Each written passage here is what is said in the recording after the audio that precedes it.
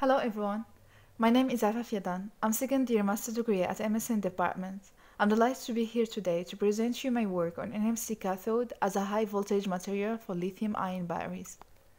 First of all, I would like to start my presentation by introducing lithium-ion batteries that appears since the earlier of the last decade.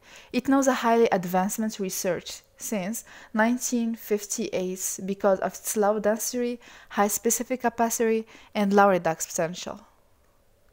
The commercialization of lithium-ion batteries has started since the late of 1960s in different applications for cars batteries, for industrial storage, phones, and also in too many other uses.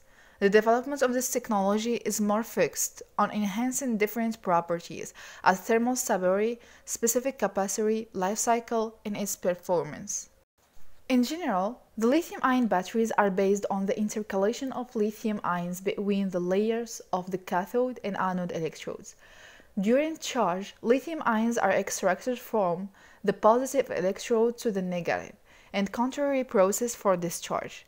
The material that I worked on is NMC material, which contains different properties as its high voltage, high capacity, its low price, safe it's a safe material, and it is developed for automotive industries.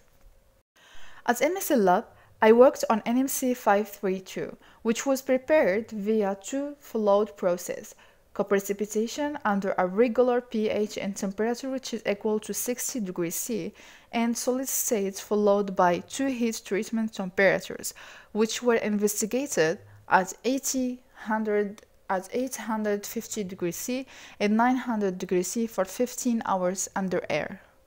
As the curve of thermal analysis shows, there is a mass degradation of components before calcination, which can be referred to removement of water adsorbed and then absorbed, the decomposition of hydroxyl groups, and the decomposition of sulfates.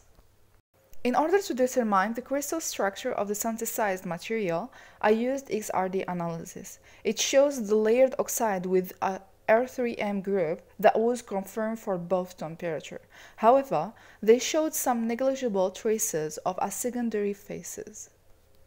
At least, we have the scanning electron microscopy, which shows a nice morphology of the sample 532, which presents some, some spherical particles with a diameter of 1.5 and 7.5 micrometer.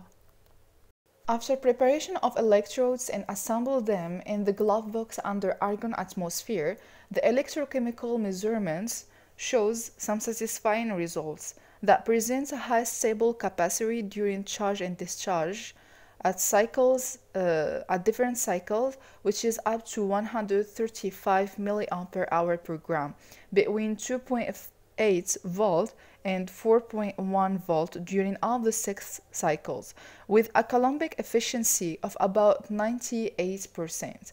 Also, as you can see in the curve, the anodic and cathodic peaks that registered at 3.73 volt and 3.76 volt respectively.